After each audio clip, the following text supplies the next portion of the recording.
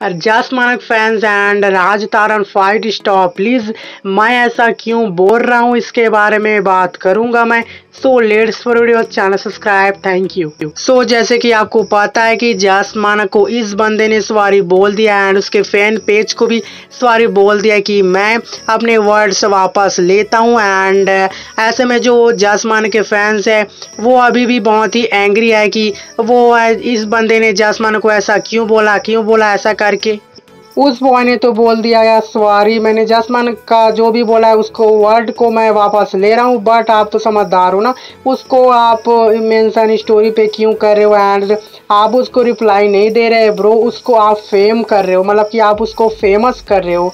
अगर आपने उसको स्टोरी पे लगाया तो आपकी स्टोरी को लोग देखते हैं एंड वो भी एंग्री होंगे एंड इस बंदे को फिर से वो मेंशन करेंगे। एंड उसको रिप्लाई नहीं मिलेगा, उसको तो मज़ा आ रहा होगा कि मैं इतना फ़ेमस हो चुका हूँ, मुझे इतने लोग ऐसे मेंशन कर रहे हैं तो उसको मज़ा ही आएगा। नॉट ऐसा वो डर रहा होगा कि मुझे इतने सारे लोगों ने रिपोर्ट किया सो आप ऐसा कुछ ना करें एंड उसको फेम ही मिल रहा है और कुछ नहीं मिल रहा। एंड उस लड़के को मैं तक नहीं जानता था ना कि आप जानते थे बट उसके इंस्टाग्राम अकाउंट को आप बार बार चेकआउट कर रहे होंगे मेरे को पता है। एंड इसी को कहते हैं फेम एंड आप उसे रिप्लाई नहीं दे रहे आप उसे फेम दे रहे हो फ़ेमस कर रहे हो। वैसे भी भाई ये छोटा मोटा लड़का जस माना का क्या ही कर लेगा जिसके वजह से तुम इसको फ़ेमस कर रहे हो इसको रिप्लाई कर रहे हो अपनी स्टोरी पे।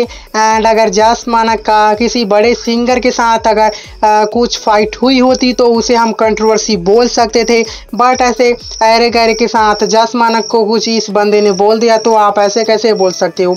वैसे भी इस बंदे को कौन ही जानता है भाई मतलब कि ये फेम लेने आया सो आप इसको और ज़्यादा ज़्यादा रिप्लाई ना करो। इसका क्या है भाई, ये तो छोटा मोटा कुछ होगा ना एंड जस मानक कितने बड़े स्टार हैं। सो अगर बड़े सिंगर के साथ जस मानक का फाइट हुआ होता तो उसे हम कंट्रोवर्सी कह सकते थे बट ये तो छोटा है भाई, इसको जाने दो। वैसे भी इसके जैसे हज़ारों होंगे जो कि जासमान के हेटर्स हैं, क्या वो हर रोज़ तो जासमान को कमेंट्स करते होंगे हेट वाला? तो क्या आप हर रोज़ हर किसी को कमेंट में या फिर स्टोरी पे उनको बोलते रहोगे कि अपने औकात मेरा ऐसा ऐसा कुछ नहीं होता ब्रो ऐसे छोटे मोटे लोग जो होते हैं, वो वो बड़े स्टार को बदनाम करने या फिर फेम पाने के लिए करते हैं सो इसको इग्नोर करो नॉट सीन ब्रो ऐसा होता रहता है सो इसको छोड़ो यार।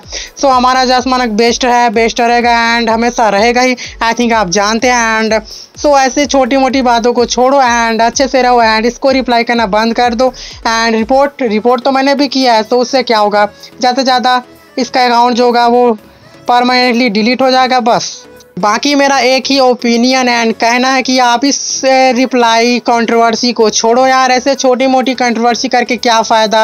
एंड आपका इसमें क्या कहना है? मुझे कमेंट करके ज़रूर बताएँ। बाकी मेरा बस इतना ही बोलना था कि आप इस इस जो फाइट है उसे बंद कर दो। ऐसा बोल के क्या मिलेगा ब्रो तो छोड़ो यार, ऐसे छोटी मोटी कंट्रोवर्सी से क्या लेना देना?